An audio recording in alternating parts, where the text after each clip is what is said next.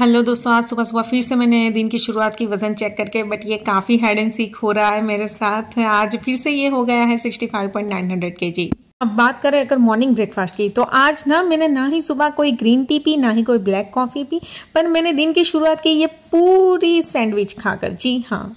और आज पता नहीं ना मेरे दिमाग में क्या चल रहा था, पर बस मैं खाए जा रही थी। तो ये पूरी सैंडविच खाने के बाद ना मैंने खा लिए मकाना, उसके बाद मैंने खा लिए थोड़े से गांठिया, और उसके बाद मुझे मीठा खाने का मन हुआ तो मैंने बना ली ये मक केक। अब यही सेम मेनू ना मैंने फिर से रिपीट किया दो घंटे के बाद। जी हाँ मुझे पता नहीं, आज बहुत भूख लग रही थी और मैंने कुछ खाना ढंग का बनाया ही नहीं था, क्योंकि खाने में ना आज मैं अकेली थी। तो बस जैसे तैसे करके मैंने आज का दिन यही सब खा के सुबह से शाम कर दी।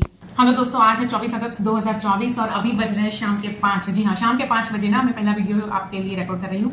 और सुबह से मैंने अब तक जो भी खाया, मखाना खाया, गाठिया खाया, वो एक कप केक खाया, पर उन सब के मैं फ़ोटोज़ खींचना भूल गई थी।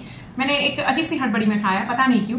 तो मैंने अभी फिर से वही मेनू मेरे खाने में लिया है। वैसे मखाना इस टाइम पे नहीं है, अभी मैंने बना ली है ये एक फिर से मग केक उसके साथ है ये थोड़े से गाठिया, और उसी के साथ मैं पीने जा रही हूँ ये एक मग ग्रीन टी जी हाँ तो सुबह से मैं ब्रेकफास्ट समझो या लंच समझो, यही सब खाती आ रही हूँ आज के दिन में और अभी भी यही खा रही हूँ।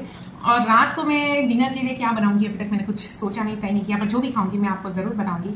और फाइनली ना डिनर के टाइम पे मैंने बना लिए कद्दू के भजिए। जी हाँ ये बहुत ही टेस्टी लगते हैं मुझे और काफ़ी हेल्दी होते हैं। फुल ऑफ़ प्रोटीन कद्दू में भी प्रोटीन रहता है, ये चने की दाल का जो बेसन हो, उसमें भी प्रोटीन रहता है। और लास्ट में ना, मैंने फिर से बना ली एक मक्के को और इस बार ना, इसके साथ एक बढ़िया सी वनीला आइसक्रीम भी खा ली। तो बस बोल सकते हैं हॉट ब्राउनी विथ आइसक्रीम जैसा मैंने कुछ खा लिया और इसी के साथ मेरे आज के दिन की जर्नी यही खत्म होती है। मिलते हैं कल नई सुबह के साथ, तब तक के लिए tata good bye take care have a good day